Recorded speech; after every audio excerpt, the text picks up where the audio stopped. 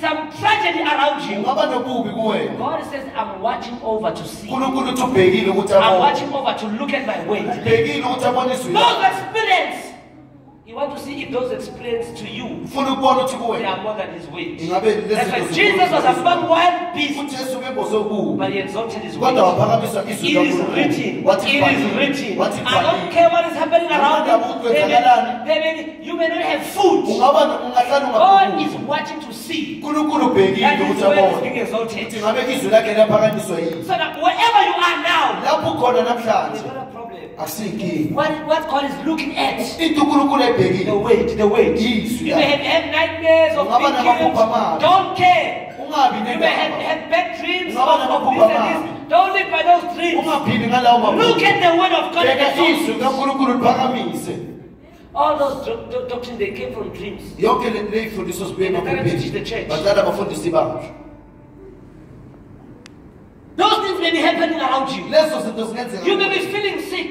You may feel, you may see yourself dying. You may see, whatever you are seeing, what is the word saying? yini into izwi The only thing that you need to do, it is written. uthi usho ukuthi kubhaliwe The things you are facing now, the only way you can pass those tests, indlela yokuthi udlule kuleko exalt his way. phakamisa izwi The only way you can overcome those temptations, overcome the tragedies that you are facing, the reason you are still there even today isizathu sokuthi ulapho is because his word is not exalted. When are facing challenges, you begin to talk about the challenges now. Oh, you know, this is what is happening in my life. Oh, you know, I'm suffering. His word is not honored in your life.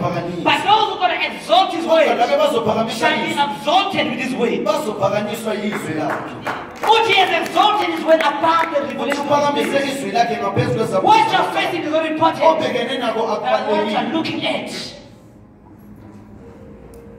I've seen Christians 20 years are still facing the same thing. Because whenever the things are not good, ngoba uma izinto zingahambi they choose to focus on those things. baqala babheka kulezo He took them to the wilderness. So that they may learn.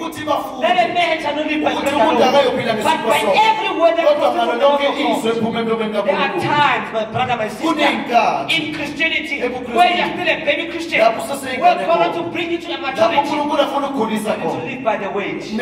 I don't care what I see. ukuthi Paul, says, we don't live by sight, but we live by faith. That's what Paul is saying.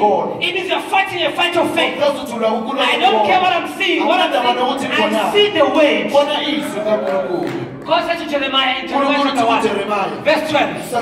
Jeremiah, what do you see? uthi jeremaya ubonani Jeremiah says, I see a branch of an almond tree. God says, I am ready, Jeremiah, to perform my way. So God is looking at your life today unkulunkulu ubheke impilo yakho and He sees you. What are you seeing? Why, what are you looking at? You are seeing a trouble. I'm seeing the, the glory of the Lord. I'm seeing the glory of the Lord. The Bible says the suffering of the present moment, the challenges of the present moment are not compared to the glory that is going to be revealed in your life. When you read 2 Corinthians chapter 4, this is the apostle who's writing these things. The mighty apostle of God. He says- The light afflictions. They nazo worked for us. A zikhiqiza higher weight of Glory while we look not singabhekanga kuzo at the things that are seen, izinto but the thing that are unseen. kodwa izinto Because the thing that we see are temporary, but the thing that are not seen are permanent. What are you looking at? You are not passing test because you choose to see the wrong. awudluli ngoba ukhetha ukubheka lokho I'm focused, I'm set. ngihleliwe I'm, I'm focused, I'm set. I choose to see the word of God. That's all. khetha ukubona izwi likankulunkulu I'm sure Abel was thinking of these things. But at the center of it all, it's you that I see. I don't see any devil, I see Jesus. Ubona ujesu The Bible says, as we behold, as in the mirror, the word of God, the glory of God, we are transfigured. We are changed from glory to glory into the same image. So he them to the wilderness. ubaholele And ehlane they may know that man shall not live by bread alone, but by the word of God. What I'm saying to you today, the reason God allowed tests is what He ukubona to see. If you honor His word. ukubona ukuthi ngabe lihlonipha izwi lakhe yini That's what I'm saying to you. Those who are on, you may be facing trials, financial trials. It is a test. kodwa Some ukuhlola have lokho stopped giving because of the test. Some Uma- have stopped tithing. They chose to despise the ukunikela. But others have continued to do it. And they are about to leave their harvest in the name of Jesus.